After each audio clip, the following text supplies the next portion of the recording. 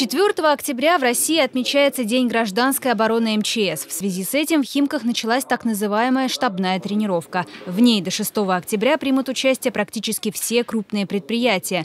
Предстоит проверить готовность округа к чрезвычайным ситуациям.